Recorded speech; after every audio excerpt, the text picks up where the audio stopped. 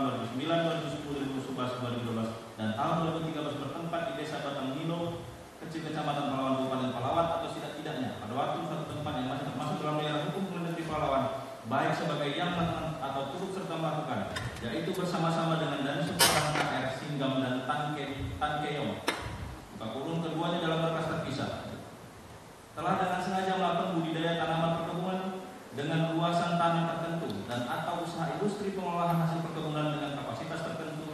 tidak memiliki izin usaha perkebunan sebagaimana maksud dengan pasal 17 ayat 1. Perbuatan tersebut dilakukan dengan oleh terdakwa dengan cara-cara sebagai berikut. PT AD Plantation dan Industri dan Koperasi Petani Sejahtera mengadakan kebun kemitraan dengan meniru model KKPA untuk anggota di mana PT AD Plantation dan Industri bertindak sebagai bapak angkat dan Koperasi Petani Sejahtera sebagai anak angkat.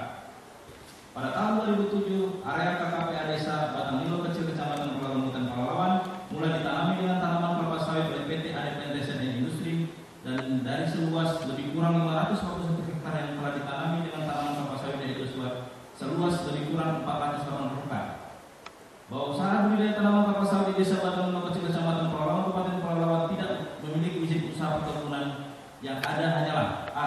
Surat Dinas Perkebunan Kabupaten Pahlawan nomor 2525.2 garing 6 Romawi garing 2003 garing 114 tanggal 18 Juli ulangi tanggal 18 Juli 2003 tentang rekomendasi pembangunan kelapa sawit pola PIR kemitraan KKPA Koptan Sejahtera.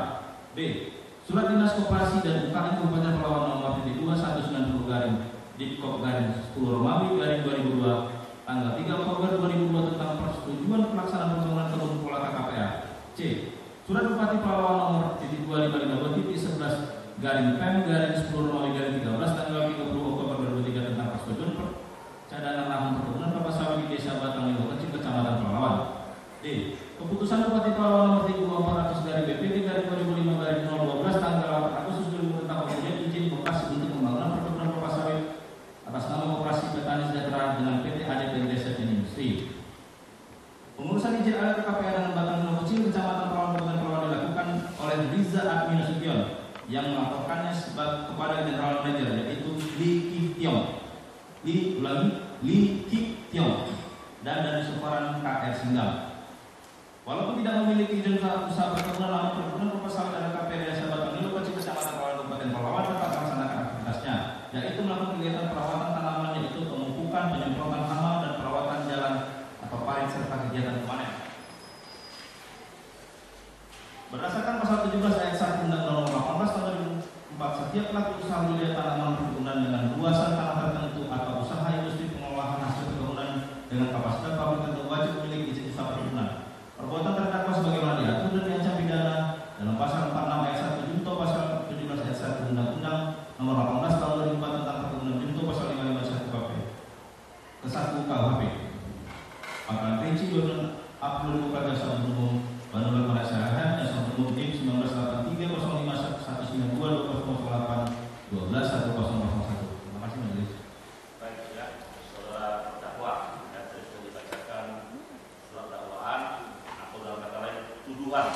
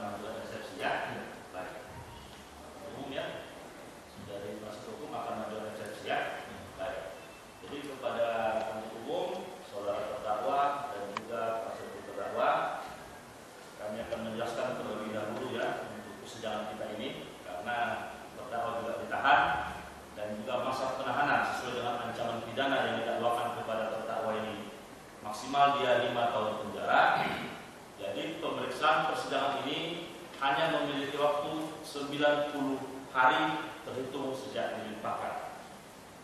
Dan juga mencermati daripada berkas perkara yang sudah dilimpahkan ke pengadilan.